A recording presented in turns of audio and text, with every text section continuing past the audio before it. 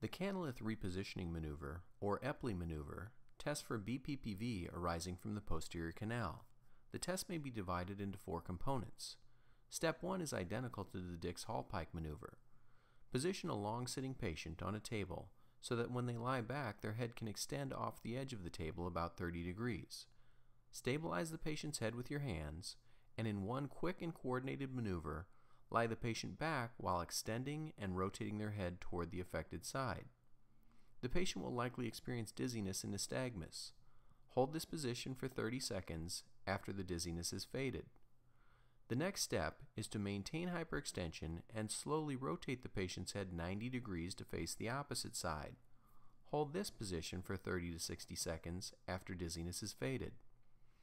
Then, while maintaining 90 degrees of cervical rotation, ask the patient to roll their body toward that side so they are looking straight down at the ground.